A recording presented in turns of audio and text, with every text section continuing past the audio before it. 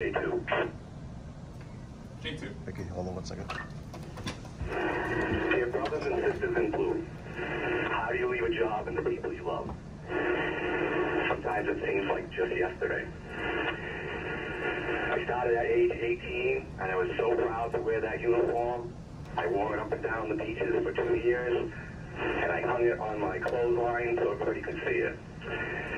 A year later, in 1979, at 19, I became a full-time Yarmouth police officer and was fortunate to have worked in all phases of policing, starting with patrols and rising through the ranks to deputy chief. It's time for me to go on to the next chapter and represent all of us at the next level of public safety and public service.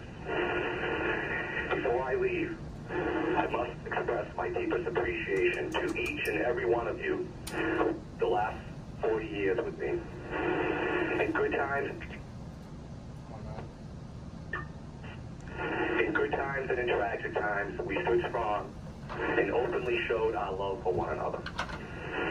Through the loss of our brothers Brad and Sean, and my own son Nick, we have always stood together as a family. You have always been there for me and my family. Throughout it all, we remain unbroken. It's been the honor of a lifetime to wear the YPD blue. How incredibly fortunate I have been. I got to work with heroes every day. I love you all. Stay proud, stay strong, stay safe. DCX is 02. Deputy Chief Stephen Xiarhos, Dad, on behalf of the Yarmouth Police Department and the community, we thank you for your 40 years of service to the town of Yarmouth. Your dedication to the department will live on forever. Dad, you are my hero. Thank you for being a role model from childhood to now. We love you. I love you.